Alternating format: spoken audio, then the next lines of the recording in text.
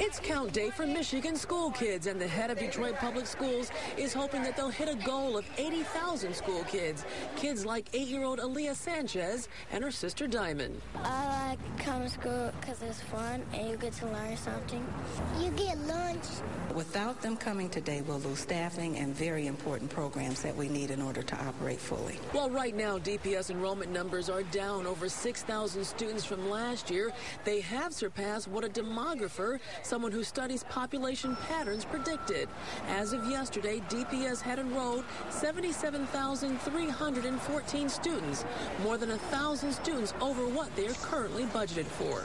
But my goal is for us to get at least 80,000 students in the school district uh, because that will send a very powerful message that we've begun to uh, stem the decline in student enrollment in the Detroit public schools.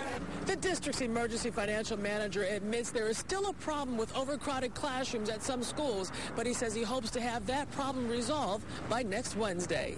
We've identified about 200 teachers that we can move around uh, to level our schools, and that will happen starting uh, next week. We want to minimize the disruption uh, for today and tomorrow. And Robert Bobb hopes a more rigorous curriculum and the extended day program will be some of the things that attract students down the road. In Detroit, Kimberly Craig, Channel 7 Action News.